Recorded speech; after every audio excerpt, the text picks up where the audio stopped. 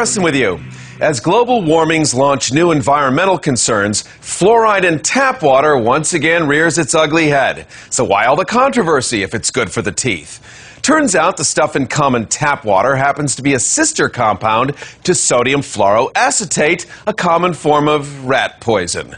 According to studies by the Case Institute, the byproduct of phosphate mining, in which they make fertilizer and laundry detergent, is liquid fluoride. So toxic it costs seven grand a barrel to bury.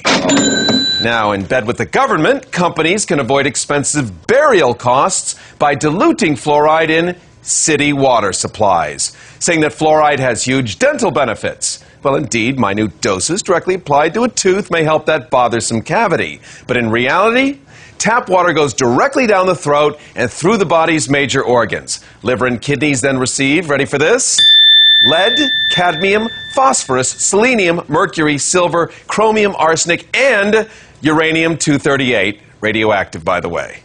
One unfortunate side effect of fluoride in the bloodstream is that within 50 to 90 minutes, human skin begins to absorb toxins from the air, along with some household cleaning compounds when touched. Ironically, in the shower, skin probably absorbs more fluoride than drinking tap water alone. Is the fluoride problem a new phenomenon? No. By World War II, farms, cattle, plants, and fish were dying from the toxic byproduct of common aluminum production, sodium fluoride. So, how does big business get away with dumping this toxic glunk into our city water?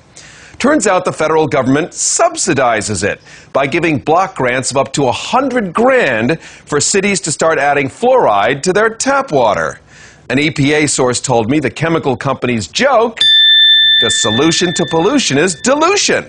Better to poison a lot of people a little than a few people a lot. Then it'd be really obvious.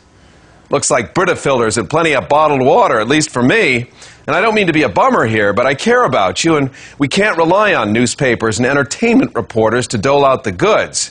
You do have a choice if you want this stuff in your water. You can call your mayor. After all, we all have a right to be safe and healthy, and to choose what we put into our precious bodies. Visit or email me on the web at goharrison.com.